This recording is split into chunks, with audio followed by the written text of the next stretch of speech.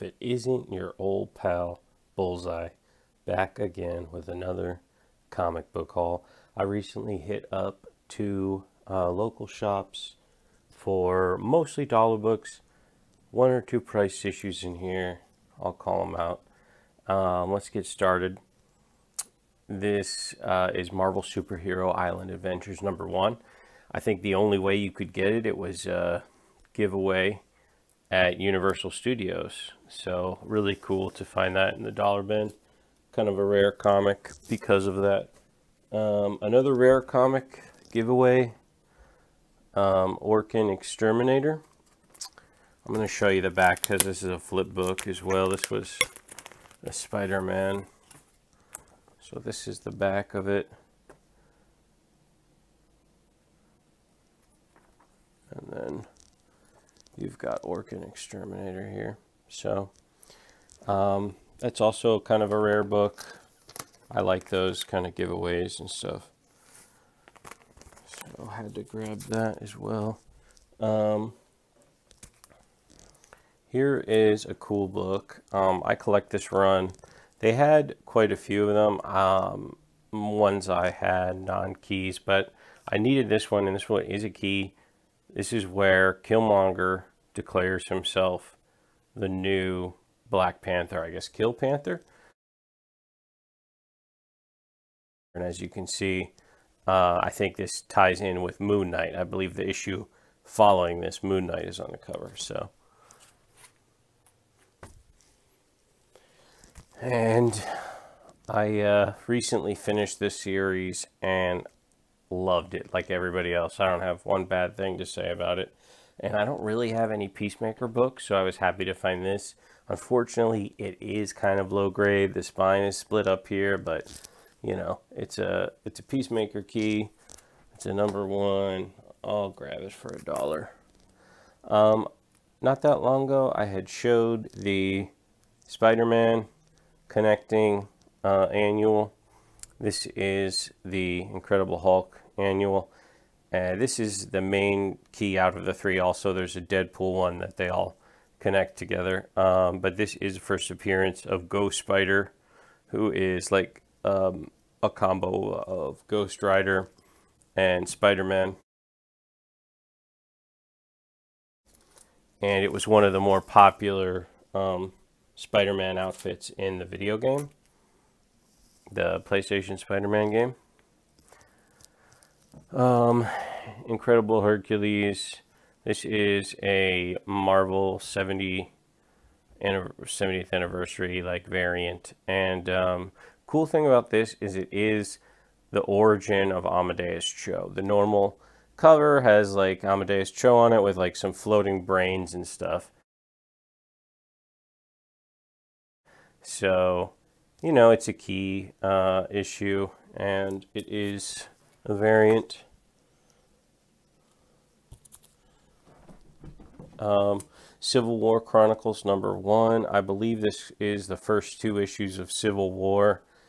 And we have the um, Michael Turner cover there. It, it uh, It's obviously not like full size, but just to have that. Um, I don't actually own the Michael Turner variant, so it was cool to get that. Um, we got Wolverine 14. This is Return of the Native Part 2. Um, I have I, I have been collecting this run when it was coming out. So I have it, but I did pick up part one recently, and I think part one is more of a cameo, and this would be the full, and obviously she's on the cover, uh, the native. And this was on my radar because Mercenot had been showing this. Just because she has like all the same powers as Wolverine. However, they don't appear to be related. I believe they hook up in that book. Um, Mask Returns, number three, first female mask. Uh, I have like all the mask books. Um, okay, what else we got? Um, Avengers, number three a Kane cover where he is fighting um, Thor and Cap.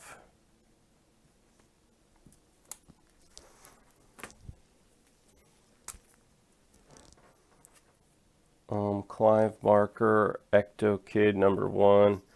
Um, this was, I, I, guess he had said something like this may be being developed for a series. We'll see. Anything can happen, but um, it is one of those 90s gimmick covers I love. Um, it's got foil and the text is raised and stuff, so that is cool.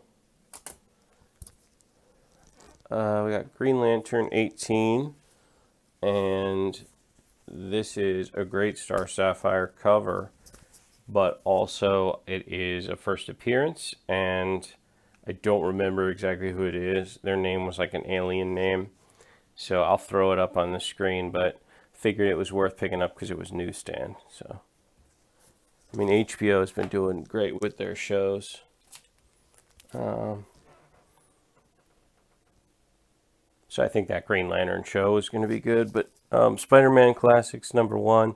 This uh, reprints Amazing Fantasy 15 as well as Strange, Strange Tales 115, which is the origin of Doctor Strange.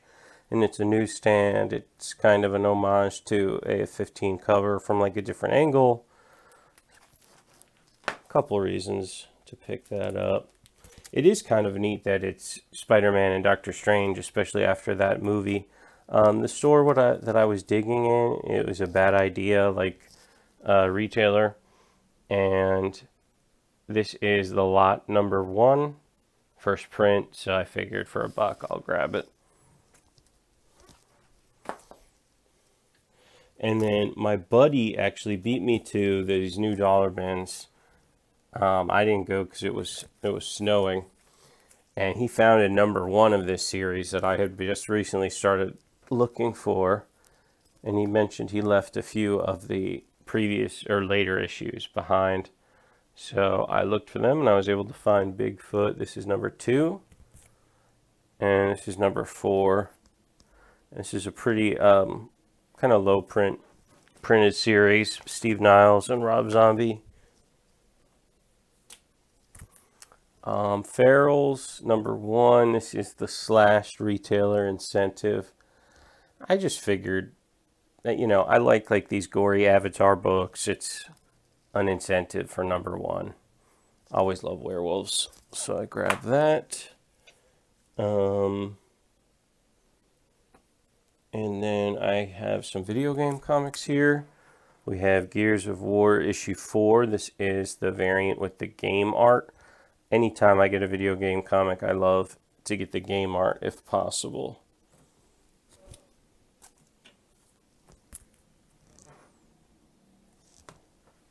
Uh, also have Resident Evil Fire and Ice number one. I have, um, this is a four issue mini and I have all three other issues. This was what I needed to complete. Yep, was happy to find this for a buck. Completes my run.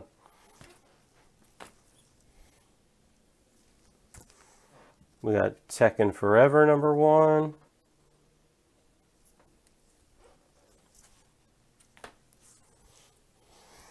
And I believe this is like First Nightmare Before Christmas in comics.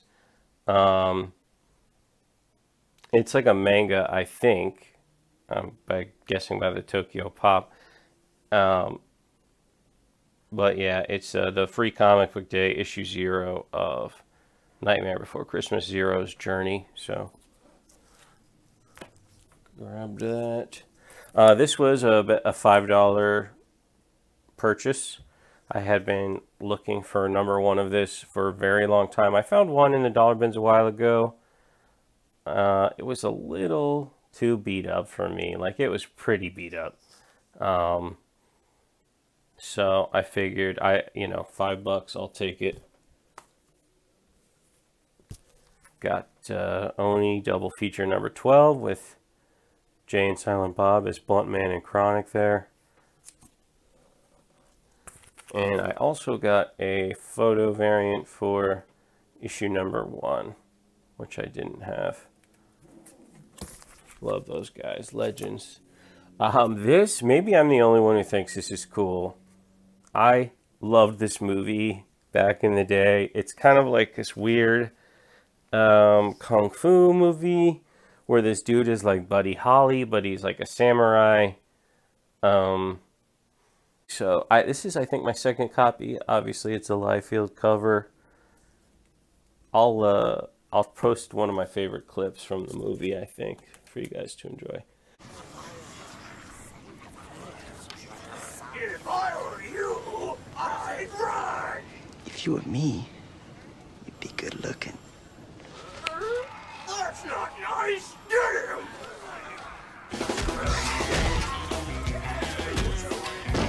Um, we got Indiana Jones, Fate of Atlantis. Now I wanted to, I want to start picking up more Indiana Jones comics.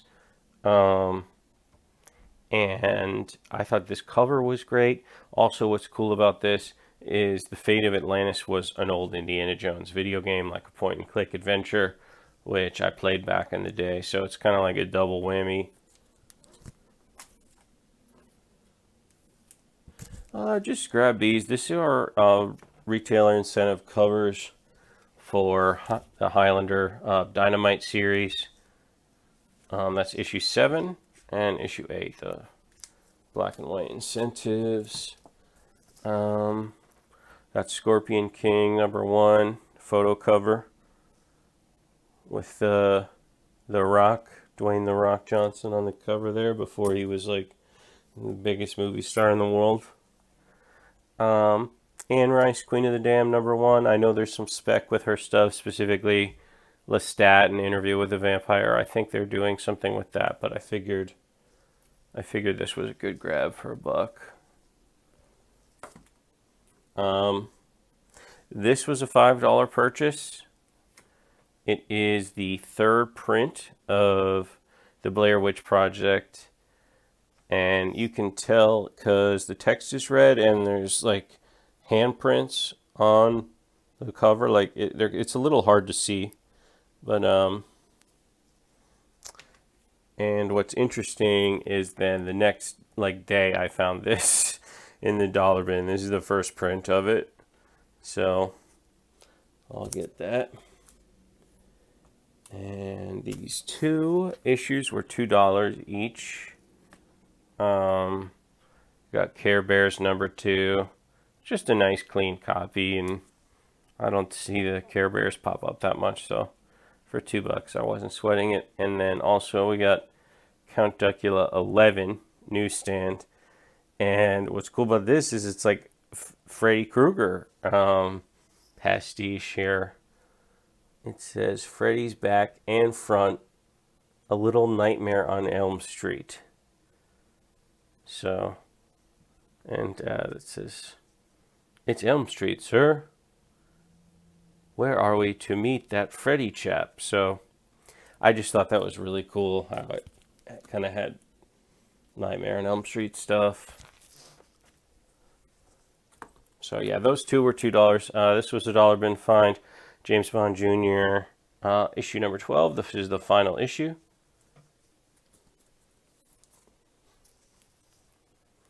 And we got Masters of the Universe number three from MV Creations. Okay, and these three were five each. Uh, I'm real close to finishing my Akira one, run, so I just wanted to grab these. Um, issue number two, issue four, and 17. So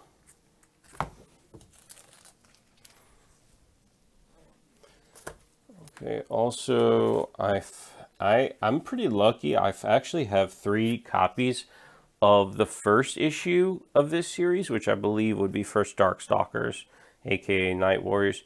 Um, but I had never seen uh, any of the later issues of this run until um, this trip. So I found number two, awesome Felicia cover. And I found number four, beautiful Morgan cover there.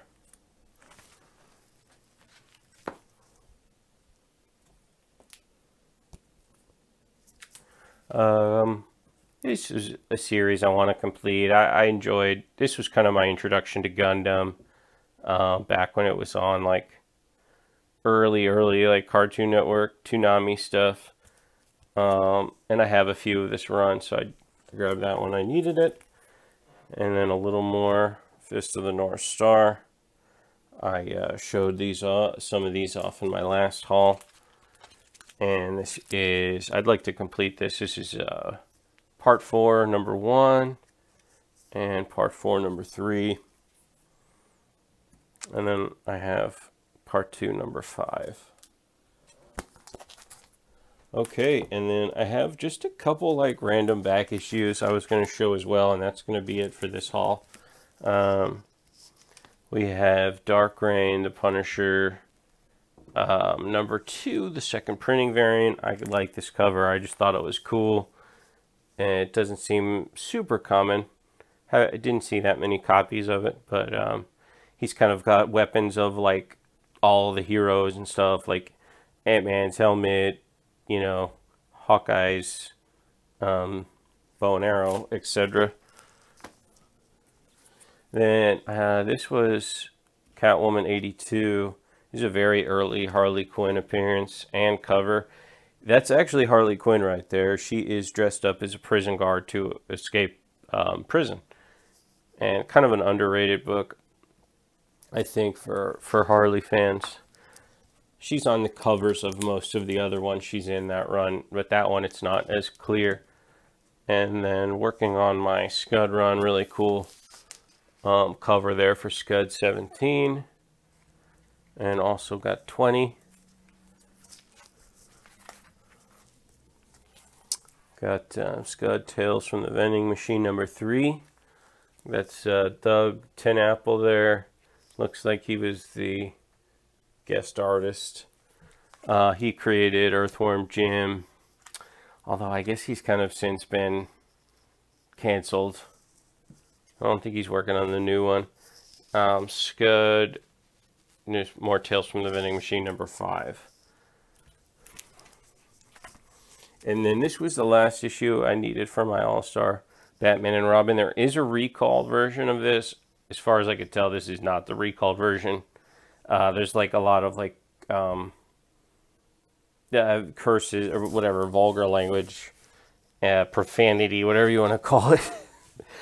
uh, it's like Batgirl saying like fucking shit and stuff, and they put like black bars over it, but you could read the original um, one like through the black, so they recalled those. And I grabbed Incredible Hulk 101 just a part of uh, Planet Hulk I needed. And then I'll end it with this one. Secret Invasion. Um, number five.